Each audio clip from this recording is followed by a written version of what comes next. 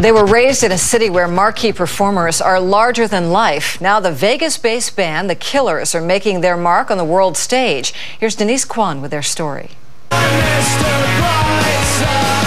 They pose, they pout, they preen. The Killers are pure Vegas, baby, and don't you forget it. We're from Vegas, and so I think a lot of Vegas comes out in us. You know, you know we've, we've got Wayne Newton and Siegfried and Roy. But on their debut album, Hot Fuss, the influences are more Ziggy Stardust than Siegfried and Roy. It was like theater, you know, mixed in with with the music. Well,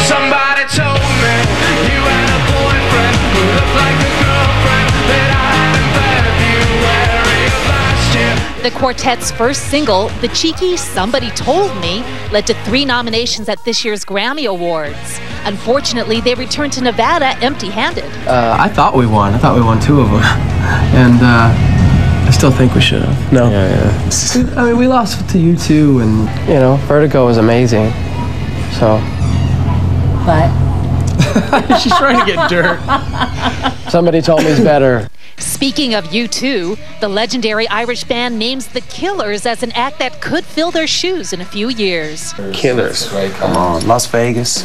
It's a mutual admiration society. Put them up here, you know, because they've stayed together for 25 years and it's the same four guys. Three and a half years ago, the Killers were four guys with nine to five jobs. Guitarist Dave Keuning sold pants at Banana Republic, and bassist Mark Stoermer delivered body parts as a medical courier.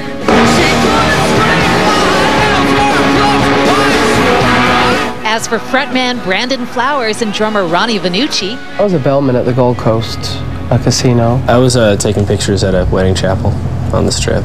Even after a Platinum Plus CD, their roots are firmly planted near the lights of Las Vegas. We never thought we'd we oozed Vegas until we got out of Vegas. You know, it wasn't until other people started to, to kind of point things out to us that really made us realize, wow.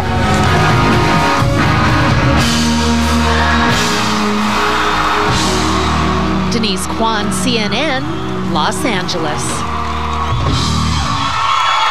Seems some overseas markets still long for the 19